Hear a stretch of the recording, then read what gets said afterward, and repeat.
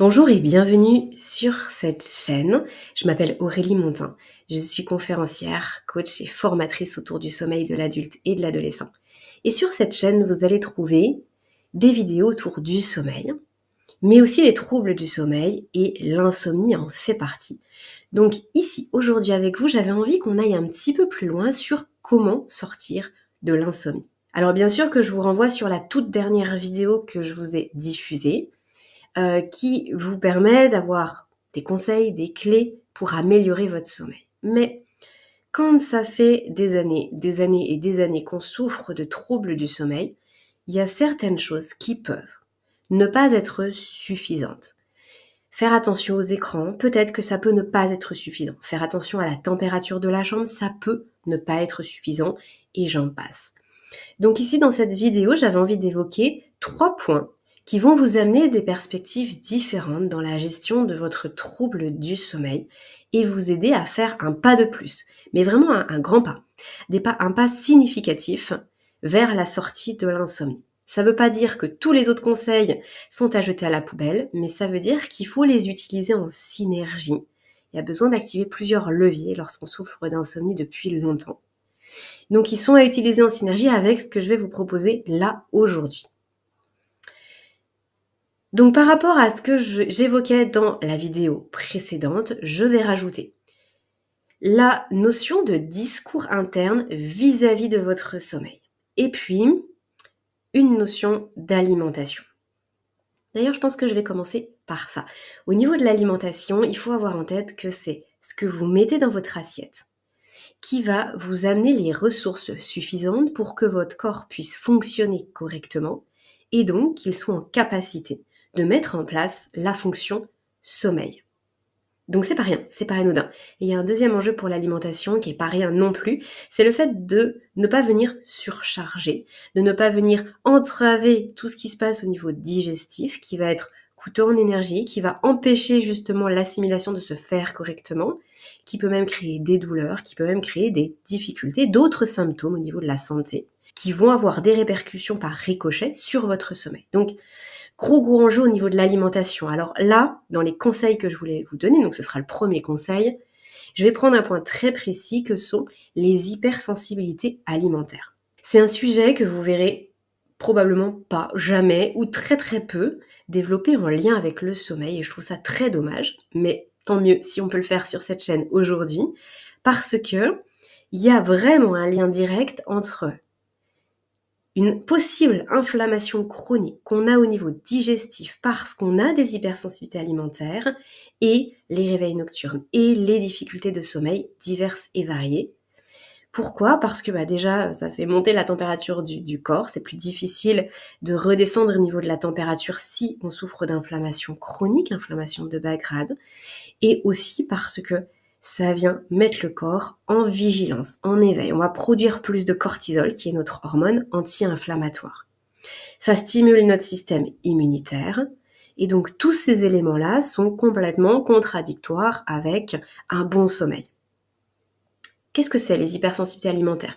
C'est le fait de réagir à certains aliments qui sur le papier sont excellents. Ça peut être les œufs, les amandes, les bananes, les noix du Brésil, bref. Il y a beaucoup d'aliments auxquels on peut euh, réagir à un moment donné. Ça évolue dans la, vie, en fonction des différents moments de stress qu'on a pu avoir dans sa vie, en fonction euh, de, la période qu'on traverse, en fonction de l'âge aussi. Eh bien, votre système digestif, il peut se retrouver euh, avec une paroi intestinale par exemple un peu plus poreuse avec des difficultés à bien découper au niveau euh, enzymatique les aliments que vous mangez. Et donc il y a certaines protéines qui peuvent passer dans le sang et provoquer ces hypersensibilités alimentaires et stimuler votre système immunitaire. Donc ça, faut l'identifier. Et ça peut se faire, hein, il y a des tests qui existent, ça peut se faire aussi par certaines évictions. Dans mes consultations, je donne quels sont les aliments qui en règle générale, font réagir et puis on s'organise autour de ça lorsqu'il n'y a pas possibilité de faire un test. Mais en tout cas, c'est un élément à prendre en considération et surtout, surtout lorsqu'on souffre d'insomnie chronique, ce serait trop dommage de laisser cette piste-là de côté parce que ça peut faire une très grande différence. Ensuite, je vous parlais du discours interne et là, il y a deux éléments. Donc, deuxième conseil, ça va être de venir reformuler ce que vous vous dites par rapport à votre propre sommeil. Si vous êtes dans une dynamique de culpabilité et aussi de colère et comment dire, de conflit avec votre sommeil, euh, c'est comme si vous étiez en conflit avec vous-même. Si vous critiquez votre sommeil, vous vous critiquez vous-même. Si vous détestez votre sommeil, vous vous détestez vous-même. Parce que votre sommeil et vous-même, c'est la même chose. Euh, votre sommeil, c'est comme l'éveil, c'est vraiment les deux faces d'une même pièce. Donc, l'idée, ça va être de voir quelles sont les pensées qui émergent et de les reformuler pour que petit à petit, votre cerveau, tout votre être, se sente en confort avec le sommeil. Même si le sommeil, il n'est pas toujours présent, même si parfois il est inconfortable, le fait de se retirer la pression des épaules de devoir dormir, parce que c'est pas votre conscient qui vous fait dormir, c'est vraiment euh, votre corps, s'il peut, il dort. Quand il peut, il dort.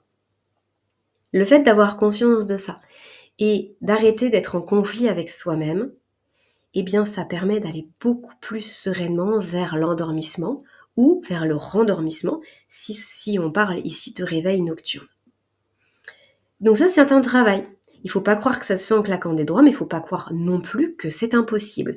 Et malheureusement, c'est souvent ce que je constate. Donc c'est pour ça que cette vidéo elle a vraiment pour but de dire non non non, c'est pas une fatalité le fait d'être complètement en meilleur ennemi avec son sommeil, on peut en faire son ami parce que c'est votre allié tout simplement. Donc cette reformulation du discours interne, c'est quelque chose que je développe aussi dans d'autres vidéos. Je ne vais pas trop m'étendre ici, mais gardez simplement en tête que ce qui émerge pour vous dans vos pensées, vous ne pouvez pas forcément le contrôler. Par contre, ce que vous allez faire de ces pensées, ça oui. Et donc vous allez pouvoir les reformuler et notamment vous auto-rassurer vis-à-vis de votre sommeil, vous réexpliquer à vous-même ce que vous savez du sommeil, que c'est pas c'est pas de la loterie le sommeil, c'est euh, en fonction de ce que vous allez faire depuis le matin, c'est en fonction de de là où votre corps il en est, ça vous dit des choses.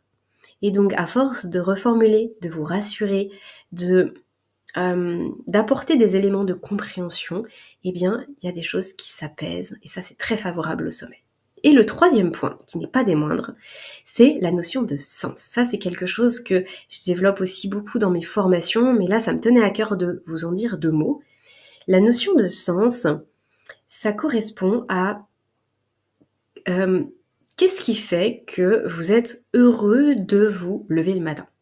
Si vous savez pourquoi vous vous levez le matin, vous allez savoir pourquoi vous vous couchez le soir. Et ça, c'est pas négligeable du tout, parce que quand on ne sait pas ce qu'on fait là, quand notre travail il fait pas sens, quand nos relations sociales elles font pas sens, on n'est pas avec des gens qui partagent les mêmes valeurs que nous, et puis euh, on vit en automate en fait. Ou alors, à l'inverse, on vit dans un monde où tout nous répulse, c'est-à-dire que euh, tout ce qui se passe dans notre vie, ça a fait clignoter notre cerveau en disant c'est pas logique, ça fait pas sens, ça correspond pas à mes, à mes valeurs, je veux pas ça. Je subis en fait. Si vous êtes tout le temps en train de tout subir, ce qui se passe à tous les niveaux de votre vie, social, professionnel, familial, amical, euh, eh bien c'est très stressant pour votre cerveau. Et c'est très compliqué d'aller vers le sommeil parce qu'en fait, vous vous sentez comme en insécurité. Donc parfois, ça vaut le coup de réfléchir sur ces éléments-là, de venir euh, peut-être faire certains choix, ou en tout cas de venir mettre de la conscience sur des choses qui ne peuvent pas bouger pour le moment, qui le pourront peut-être par la suite, pour venir apaiser. Ça, c'est vraiment un stress latent dont on a peu conscience et que j'ai vraiment, vraiment très envie de mettre en lumière aujourd'hui dans cette vidéo. Bien sûr qu'il y a d'autres choses à explorer. Et d'ailleurs, vous avez en description de cette vidéo une fiche bonus où je vous propose d'autres conseils pour sortir de l'insomnie. Trois autres conseils. Donc là, je vais récapituler ce qu'on a vu dans cette vidéo. Ça vous fera un petit mémo. Et puis, je vais vous mettre trois autres conseils qui vous permettront encore d'aller plus loin et de continuer sur cette exploration de votre sommeil. N'oubliez pas de liker la vidéo. Si ça vous a plu, partagez-la si vous pensez qu'elle peut aider vos proches. Et j'ai une question. Est-ce que vous êtes bien abonné à la chaîne? Parce qu'il y a beaucoup de personnes qui regardent les vidéos ou qui m'écoutent, mais qui ne sont pas abonnés à cette chaîne et ça c'est trop dommage. Donc cliquez sur le bouton s'abonner, ça permet à la chaîne d'être euh, plus référencée, d'être plus vue et donc aux informations d'être mieux partagées. Merci d'avance et je vous dis à très bientôt pour une prochaine vidéo.